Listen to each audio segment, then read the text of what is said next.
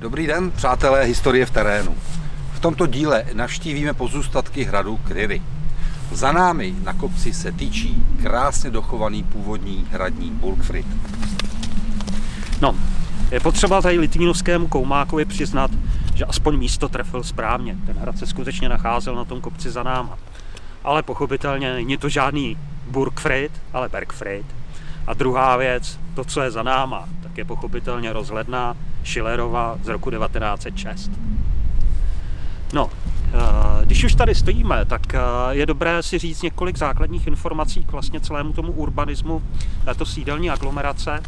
Jednak vidíme ten hrad na tom kopci za náma, ale pod ním si můžeme povšimnout eh, kostela, který je sice dnes v barokním hávu, ale k němuž máme první písemnou zmínku z roku 1369. Je tedy oprávněné uvažovat o gotickém předchůdci této stavby. Někdy v pozdější době, možná až ve 14. století, se to osídlení z pravobřeží Blšanky přesunulo na levý břeh a vzniklo zde městečko na pravidelném vymezeném půdorysu. O tom, že Kerery byly městečkem, víme však až v roce 1442.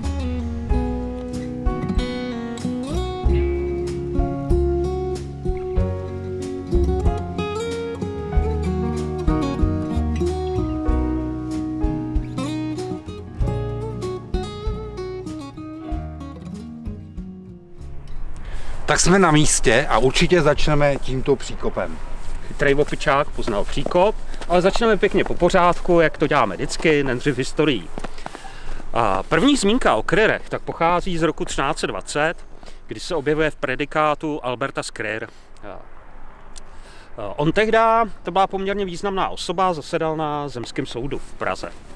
Ale abychom si osvětlili, kdo to vlastně ten Albert Skryl byl, tak se musíme dostat do období poměrně staršího. Ona to totiž byla rodina, která vycházela od žateckých kastelánů, toho raně středověkého hradu žateckého. A oni postupně, tahle ta velká rodina získala různé majetky. Ta, ten nejzásadnější tak byly Ervěnice, což je ta vyuhlená obec nedaleka Mostu odkud se ta velká rodina psala, buď teda se psali Fonze, jako od jezera, mm. anebo Delaku, což znamená to samé, akorát, že v latině, anebo se také psali z Ervěnic, později i ze Žeberka. A část téhleté rodiny tak se usadila i zde v Kryrech. Patrně už někdy ve 13. století, v druhé polovině, možná, že i o trochu dříve. Teprve k tomu roku 1320 slyšíme o uh, existenci právě těch kariér a toho Alberta, a ten Albert používá kariéry v predikátu. Uh, jenom o rok později, v roce 1321, pak proběhlo k vlastně druhé fundaci, uh, došlo k druhé fundaci kláštera Klarisek v Panenském Týnci, který zakládali bratři ze Žirotína, který už jsme navštívili. A jako svědek tohohle významného fundátorského aktu tak byl právě i Albert Skryr, kde se dovídáme přímo v té formulaci v té listině Albert de Kryr, nepos Henry, Dominy Henrici de Lipa. Což znamená, že on byl patrně vnukem, ale možná i jiným uh, příbuzným, jiným druhým příbuzenství s Jindřichem z Lipé. My bohužel ale nevíme, jestli to byl ten známý Jindřich z Lipé, že jo, který uh, si vesele užíval s uh, královnou Rejčkou, anebo to byl jeho stejnojmený syn.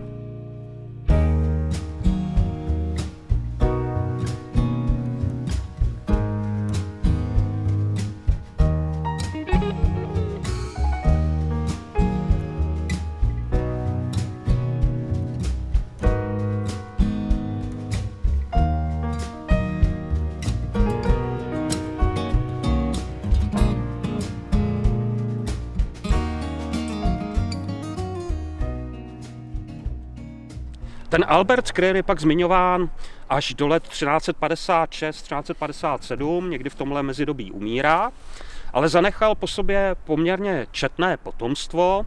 Víme o minimálně pěti synech, jeden z nich tak to byl opat postolprského kláštera Dětřich.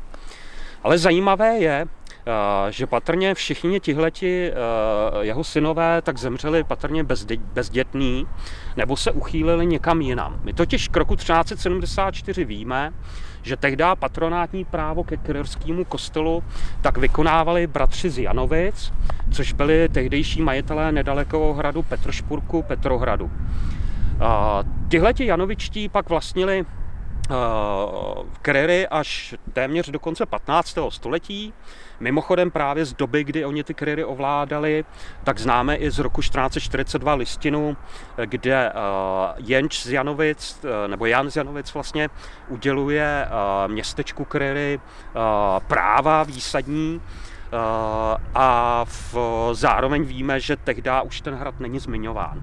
Když pak v roce 1483 prodával Jan z Janovic, což byl potomek toho předchozího Jana z Janovic, prodával Kryry Buriánovi z Gučtejna, tak už se zmiňuje sice městečko Kryry, ale s pustým hradem Kryry. Mm. Jo. Někdy ještě později, v 16. století, je pak ten hrad eh, pustý zmiňován jako Kozihrady, ale to už je novověký název, který s tou středověkou realitou nemá nic společného. Ten hrad se vždycky jmenoval Kryry. Ono je uh, to hodně zajímavé, že jak vlastně my tu existenci toho hradu dokážeme časově určit? My víme z archeologických nálezů, že patrně vzniknul už ve druhé polovině 13. století, tudíž ta zmínka 1320 je až pozdní. A podle všeho nejspíše zaniknul právě s tím odchodem těch ervěnických s tou rodinou z Kryr. A v okamžiku, kdy se tady usadili už ty Janovičtí, tak ten hrad přestal být využívaný a začal pustnout. Tudíž ten hrad měl poměrně velmi malou existenci, nějakých, dejme tomu, ani ne 100 let.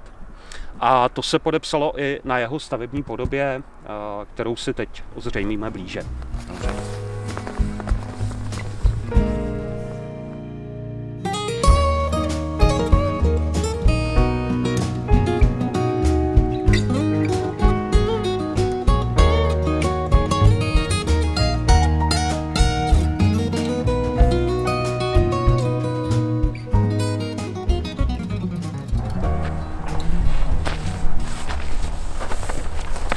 Tak teď ty příkopy. Teď je ten správný čas. Takže vidíme tady vnější opevnění, které se stává z poměrně hlubokého příkopu a před ním vyhozený vál. My teď tady jdeme po střední části hradu, která tradičně bývá interpretována jako předhradí, ale sám vidí, že ten prostor eh, toho útvaru do L je poměrně úzký. Tamhle vidíme i linii nějaký vnější fortifikace, která nám tady zabrala nějaký metr dva a ten prostor zatím je minimální, takže by se sem žádný předhradí pochopitelně nevešlo, ale spíše je to areál s nějakou jinou funkcí, možná něco malého dřevěného. Pak zde vidíme vnitřní příkop, který nám zase obtáčí celé to jádro. Vidíme zde také tu komunikaci, po které jsme přišli, o které tedy předpokládáme, že to byla komunikace původní, protože ten vnější násep není nikde jinde na žádném místě proražen. Muselo to jít tamhle. A to jádro, když se k němu vrátíme, vidíme, že je poměrně malinký. Ještě v polovině 19. století tak se autoři zmiňují o tom, že tam stále základy nějaké kruhové stavby, což patrně mohl být nějaký Bergfried nebo nějaká třeba věž.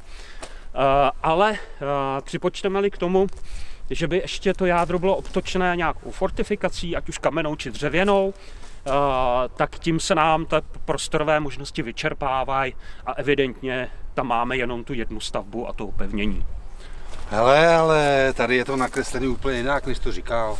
Ale ty furt máš nějaký keci hlupáku. Tohle to je taky namalovaný bez znalostí experta, jako jsem já. Že jo? A já pochopitelně dokážu daleko lépe rozeznat, co skutečně na tom hradě bylo.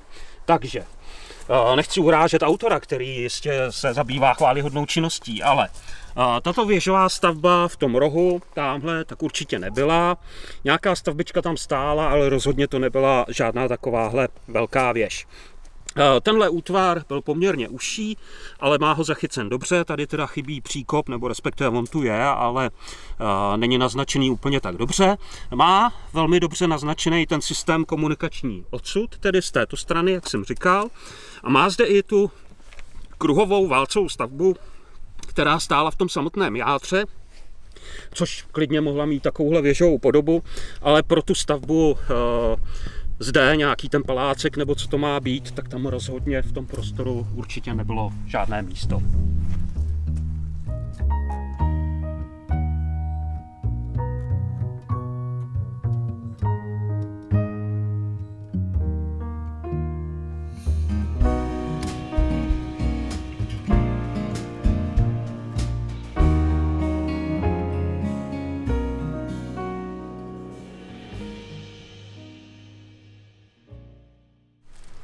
Když jsme procházeli ten hrad nahoře, tak bylo evidentní, že to jádro je příliš malé a že ty rezidenční funkce tam asi jako nebyly úplně Eh, že prostě ten hrad byl tak malý, že jako by tam v podstatě nemohlo stát nic. Řekni, nedalo se tam bydlet. No, prostě to bylo tak prťavý, že se tam nedalo bydlet.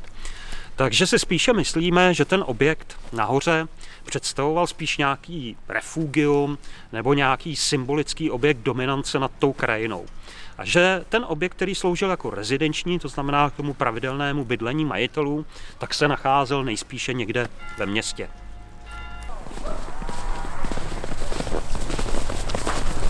Je, tady jsme zapomněli na středověkou, krásně zrekonstruovanou výsernici, že? Tak za prvý, ty vypatlanej dutohlave. Středověk žádný termín výsernice nepoužíval, ale buď sráč nebo preví. A za druhý, tohle je zcela jasná mobilní hladomorna. No.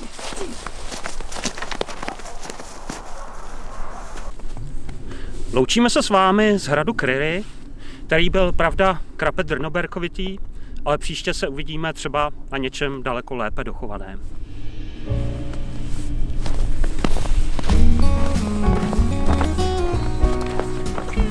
啊！我呀，鸡蛋，呀鸡蛋，煮饭，呀鸡蛋，煮饭。